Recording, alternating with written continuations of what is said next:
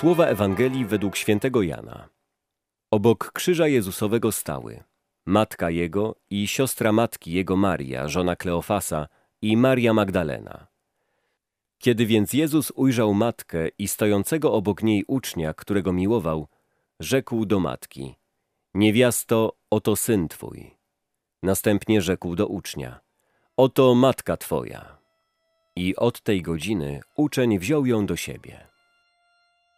Ewangelista Jan w przejmujący sposób opowiada o męce i śmierci Chrystusa.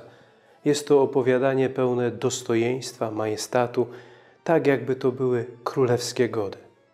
Uważny czytelnik zauważy, że każdy element tej długiej narracji, począwszy od prezentacji Jezusa na dziedzińcu Pałacu Piłata, po śmierć na krzyżu, nawiązuje do żydowskiego rytuału weselnego. Najbardziej wymownym znakiem tej ceremonii jest otwarcie boku Jezusa włócznią Malchusa. Tak jak bok Adama otwarty został podczas jego snu i z żebra wyjętego z boku uczynił Bóg małżonkę dla Adama, Ewę, tak z przebitego serca Jezusowego rodzi się Kościół, małżonka Zbawiciela. Świadkami tych narodzin, niejako akuszerami, są święty Jan Apostoł i Maryja, Matka Jezusa. Jezus z wysokości krzyża wypowiada swoją ostatnią wolę, swój testament.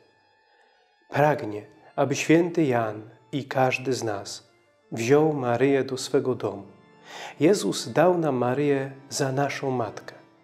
Ta, która była wierną uczennicą mistrza z Nazaretu, teraz staje się nauczycielką Kościoła, nauczycielką każdego z nas. Czego chce nas nauczyć Maryja? Przede wszystkim wrażliwości na Boże Słowo i otwartości w przyjmowaniu Go.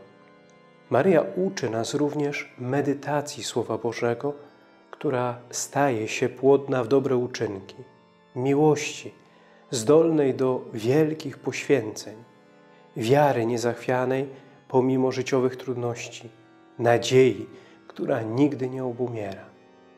Maryja, nasza Matka, uczy nas, jak budować prawdziwą, żywą relację z Bogiem, dzięki której nawet dziewicze życie staje się płodne.